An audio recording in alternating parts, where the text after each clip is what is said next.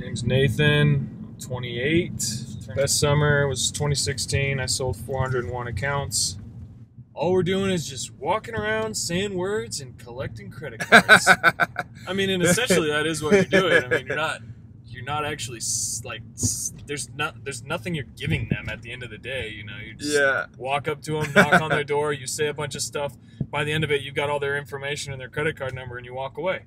So we're like, this is an easy job. You just walk around, say stuff, say words, and if those words don't work, say different Say words. Say different words. Get their credit card number and go home. Look. well, one thing that really brought me, and I think brings a lot of people to this field, is the amount of money you can make without a degree, and the sky's the limit in how much money you can make.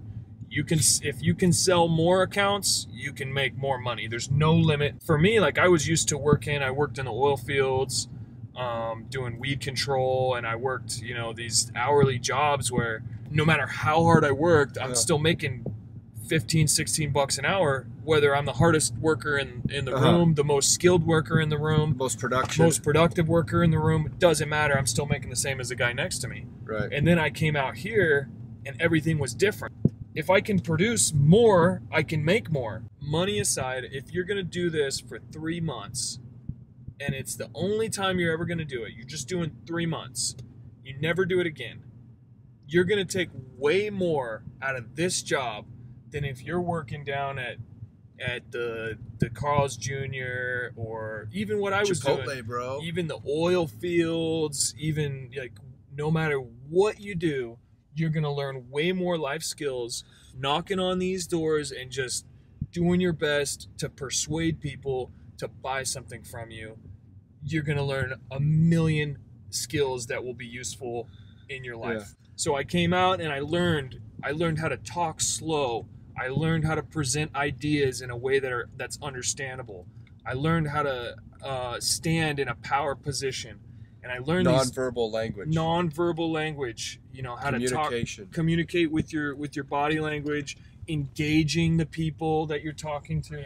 It's an on ramp to your dreams. Whether your dreams are traveling and and living a comfortable life or being a bodybuilder, like my wife is a bodybuilder, Mhm. and I've been able to provide that kind of lifestyle for her where she just literally only worries about eating the right food and hitting the gym and doing what she's got to do. Uh, whatever you want to do, whatever your dreams are, you know, they become a reality, whether it's law school or just doing what you want to do in the off season. You know? Yeah.